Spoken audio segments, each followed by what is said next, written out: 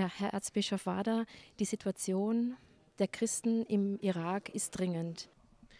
Yes, it's very urgent because we uh, we experienced a painful uh, genocide uh, in August 2014, and with this genocide, we have lost villages, monasteries, churches, historical lands, and also after that, uh, people start uh, losing hope.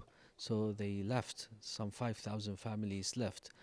So we are working uh, with all the people of goodwill, really, to save the remaining Christians in, in Iraq, and we have a still a good number, at least, stayed there. So we are working uh, together to help them to stay, so that when time would come, to able to be able to go back to their homelands and rebuild these villages.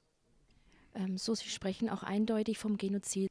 Yes, it's it's genocide when when you take uh, uh, homes, schools, cultures, language, and destroy monasteries. All the history is being destroyed and make the people live in caravans or tents without uh, a future. Uh, so you could tell uh, that the death is on the faces of, of those uh, suffering people. So you've killed everything, everything, every good things in, in them. So it's it's, it's genocide, but uh, from this deep, uh, painful uh, violence, there is a hope. There is a hope that uh, life cannot be really uh, overcome like like this, and there is a faith that God uh, is there and walking with them and be with them, and that give us the strength to continue. Erzbischof, ähm, Sie sind die Christen, die die aramäische Sprache, also die Sprache Jesu sprechen. Was, äh, welche Hoffnung haben Sie, wenn Sie daran denken und sich darauf besinnen?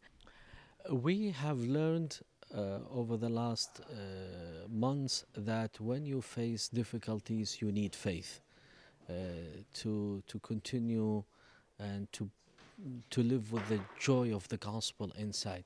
So yes, we know also here in in in the West there are difficulties and there are lots of uh, uncertainties, crises.